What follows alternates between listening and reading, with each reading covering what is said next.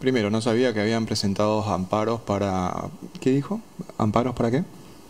Para rehabilitar el transporte y para que no se cobre los 5 mil pesos por hisopado. No, no personalmente eh, no tenía conocimiento de la existencia de, esa, de esas causas. Seguramente nuestra Fiscalía de Estado será notificada en su momento. Y bueno, eh, es un año electoral. Encontraron la beta judicial como ámbito de campaña.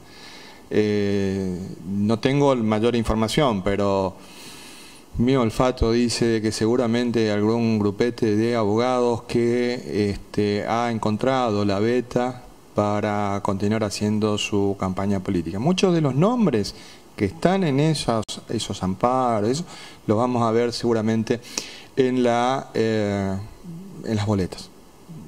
Le ponemos la firma.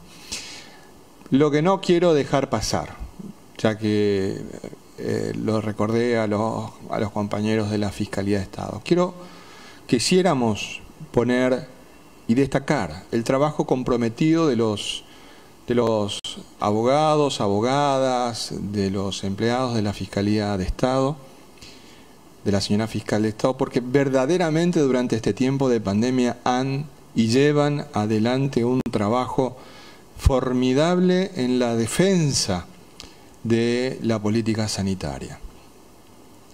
Tener una perspectiva de una pandemia es tener una perspectiva integral. Hay algunas veces que parecería ser de que solamente en Formosa hay pandemia.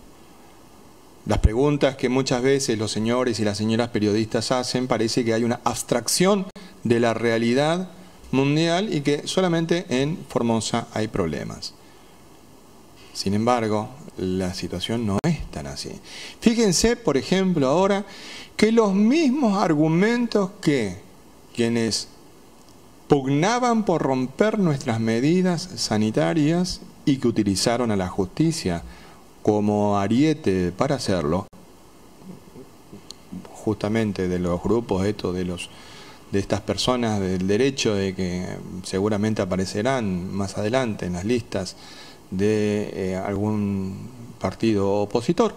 Son exactamente los mismos argumentos que ahora utilizan para tratar de romper las medidas sanitarias dispuestas por el Estado Nacional para proteger al pueblo argentino de la posibilidad de que ingrese al territorio nacional de la variante Delta.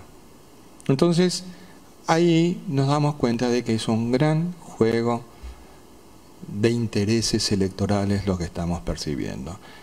La situación sanitaria, la salud, eso pasa a un segundo plano. No importa, eso ya es otra cosa.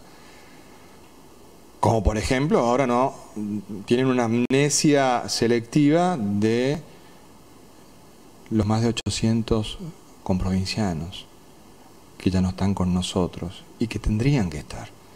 Tendrían que estar, si es que no hubieran militado en contra de nuestras medidas sanitarias, muchos y muchas, con el apoyo de algunos medios de comunicación. Verdaderamente es triste.